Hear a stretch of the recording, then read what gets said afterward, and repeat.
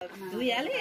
चप्पल छैन माइलीको चप्पल लगाएर आएको मुस्किलले आइपुग्यो नि मालीको त उनीहरूको दुकान परेछ